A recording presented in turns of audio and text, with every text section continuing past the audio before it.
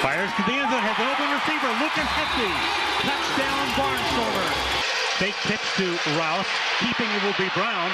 Brown driving to the end zone, and he is in for the score, and it's a 7 to 6 game.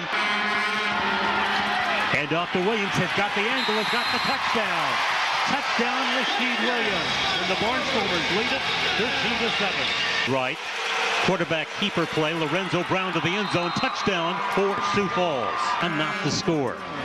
Partridge, far sideline to Roland. Roland, cut through. Roland to the end zone. Touchdown, Iowa.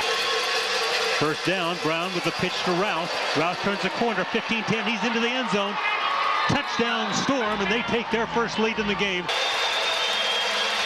Brown fakes to Tatum. Humps, throws to a wide open Tatum in the end zone. Brown will run it himself. 15. Sheds a tackle. He's on his way to the end zone. He's there for a huge touchdown. Lorenzo Brown runs for his third touchdown of the night. With his third catch of the night. One of them for a touchdown. Now the throw and the ball is picked off.